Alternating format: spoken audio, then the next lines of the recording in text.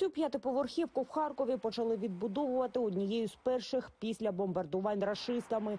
Спецтехніка нині розгрібає завали, фахівці демонтують бетонні плити. Те, що залишилося від балконів. Неподалік за роботою комунальників уважно стежать мешканці зруйнованого будинку. Прям как зубы вырывают. 1 березня російські пілоти завдали масової атаки по Харкову. На відео перші хвилини після удару авіабомби на Новобаварському проспекті. Ты шо, глянь, кулиничей нету. Да. Ветки. Глянь, ты глянь, что глянь с домами. Були і загиблі, і важко поранені.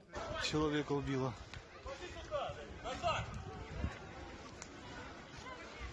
Під завалами зруйнованого будинку опинилося багато людей. Вісім із них загинули, шестеро людей були травмовані.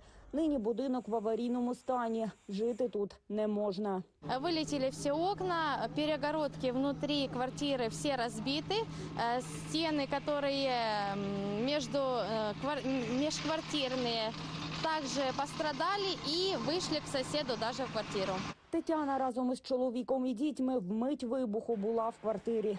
І родині вдалося вибратися з-під завалів живими. К сожалению, вся техника, все, что в квартире находилось, это было наше, все пострадало. Но это все наживное, не страшно, все работаем, купим. Унаслідок бомбардування Тетяна зазнала тяжких травм і майже втратила зір. Попереду тривале лікування.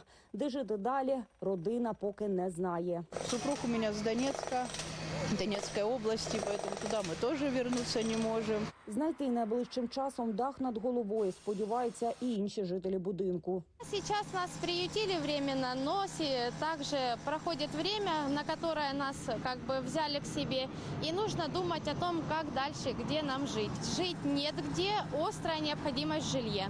Люди сподіваються, що зможуть повернутися додому якомога скоріше. Міська влада планує відновити будинок та утеплити фасад, щоб люди могли менше платити за житло. Скільки коштів знадобиться для відбудови, поки невідомо.